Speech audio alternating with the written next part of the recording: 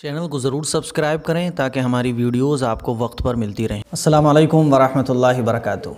क्या क्या चलता रहता है आजकल और कैसे कैसे मसाइल, बने हुए मसाइल, वहमी मसाइल, शक वाले मसाइल, अल्लाह रहम फरमाए, अल्लाह हमारी हिफाजत फरमाए। वैसे तो मैंने इस पर एक वीडियो बना चुका था मैं कि रात में झाड़ू लगाना, मगरिब के बाद झाड़ू लगाना, असर के बाद झाड़ू लगाना, दुनिया भर की बातें झाड़ू के ऊपर हैं। बेचारी झाड़ू भी परेशान हो गई है। कि इतने मसाइल मेरे ऊपर बना दिए गए हैं, लोगों ने बना दिए तो मैं आज आपको बताने जा रहा हूँ कि मगरिब के बाद झाड़ू लगाना, रात में झाड़ू लगाना, ये सब कैसा है? याद रखिएगा, इसके बारे में मशहूर ये है कि रात में झाड़ू लगाने से बेबरकती आती है, रिस्क में तंगी आ जाती है और कारोबार ठप पड़ जाता है अगर रात में झाड़ू लगाओगे।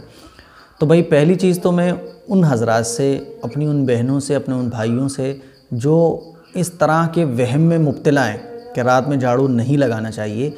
उनसे मैं बस सिर्फ़ इतना कहना चाहूँगा, याद रखिएगा, गाने सुनने से, घर में गाने बजाने से, टीवी देखने से और बेपर्दगी घर में होने से, फ़िल्में देखने से और सुबह फजर की नमाज़ छोड़ने से सबसे ज़्यादा बेबरकती आती है, बेसुकूनी आती है, कारोबार ठप्प पड़ते हैं और अल्लाह की रहमत से वो घर दूर हो जाता है जिसमें सारे काम होते हैं। फजर की नमाज़ छोड़ने से तो सबसे ज़्यादा बेबरकती आती है, सबसे ज़्यादा बेबरकती। तो हमने पकड़ लिया है सिर्फ़ झाड़ू को कि झाड़ू मगरिब बाद नहीं लगाना चाहिए ईशा बाद नहीं लगाना चाहिए, रात में झाड़ू नहीं लगाना चाहिए। तो मेरी बहनों अच्छे तरीके से समझ लो कि झाड़ू के लगाने ना लगाने से बेबरकती का ताल्लुक़ नहीं है। ये वहमी चीज़ें हैं, इस्लाम में इस चीज़ का तस्वूर ही नहीं है।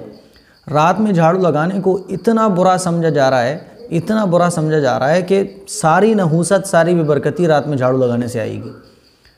न टीवी की तरफ़ गौर है, न गानों की तरफ़ कोई फ़िक्र है। बच्चे घरों में पूरे पूरे दिन फ़िल्में देख रहे हैं, फोर जी मोबाइल का यूज़ करके उसकी तरफ़ फ़िक्र नहीं है। फजर की नमाज़ घरों में नहीं पढ़ी जा रही। महीनों, सालों, साल फजर की नमाज़ हमारे बच्चे नहीं पढ़ रहे, हम खुद भी नहीं पढ़ रहे।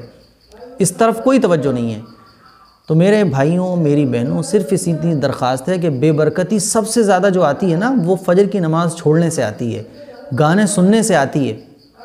एक मरतबा अल्लाह के नबी सल्लल्लाहु अलैहि वसल्लम के कानों में कहीं किसी के गाने वाली की आवाज़ पड़ी तो वो गाने गाने वाली से गाने गवा रहा था और सुन रहा था तो हजू ने फरमाया, खुदा की कसम इस शख्स की नमाज़ कबूल नहीं, खुदा की कसम इस शख्स की नमाज़ कबूल नहीं। तीन मरतबा हजू ने फरमाया तो गाने बजाने से भी बरकती आती है, दस बजे तक सोने से भी बरकती आती है इसी तरीके से टीवी से सबसे ज़्यादा नहूसत बेबरकती आती है। कुरान ना पढ़ने से बेबरकती आती है।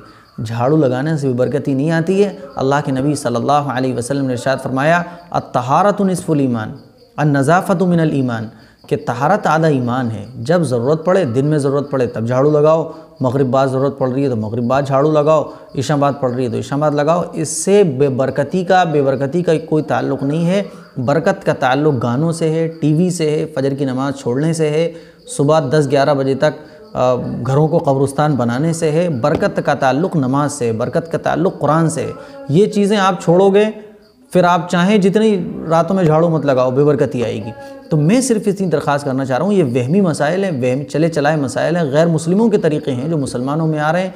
आप इस बात जो समझ, समझा जाता है ना कि मगरब बाद झाड़ू नहीं, ईशा बाद झाड़ू नहीं ये बिल्कुल ख़राब बात है, इसका इस्लाम में कोई तस्वुर नहीं है, सिर्फ़ एक वहम है, जिसकी वजह से ख़वातीन बड़ी परेशान रहती हैं कि घर गंदा पड़ा हुआ है, लेकिन झाड़ू नहीं लगाती हैं, वो ये सोचकर कि साहब बेबरकती आ जाएगी। तो मेरी तमाम बहनों से, तमाम भाइयों से मुद्दबाना दरख्वास्त है। अपना भाई समझ कर मैं आपसे कह रहा हूँ कि खुदा के लिए फ़जर की नमाज़ पढ़ना शुरू करो, टीवियाँ घरों से ख़त्म करो, गाने सुनना ख़त्म करो, फ़िल्में देखना ख़त्म करो, सबसे बड़ी नहूसत, सबसे बड़ी बेबरकती इसी से आती है। अल्लाह ताला हम सबको इन चीज़ों से बचाए और दीन की सही समझ नसीब फरमाए। अस्सलाम वालेकुम वरहमतुल्लाहि